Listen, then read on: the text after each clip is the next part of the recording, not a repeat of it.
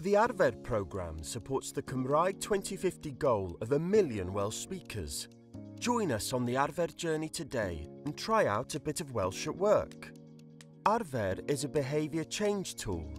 Just as we need a bit of help to change other behaviours, like exercising or recycling more, Arfer provides a supportive framework for using Welsh at work. The Arfer programme belongs to everyone. Together, we can use more Welsh at work.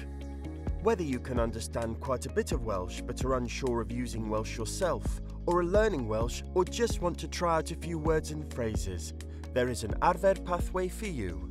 We know that Arfer works. In face-to-face -face work situations, staff who followed the programme used Welsh twice more often than before. Of course, the world of work has changed for many of us due to COVID. So we looked into how we use our Welsh when working remotely. One thing you told us was that ad hoc opportunities to practice some Welsh words and phrases are important to you. Arfer can help you with this wherever you work, from home, in the workplace, or both. We have based the Arfer programme on behaviour change principles. We offer a series of pathways for you to choose from that will help you use more Welsh at work you can choose your path.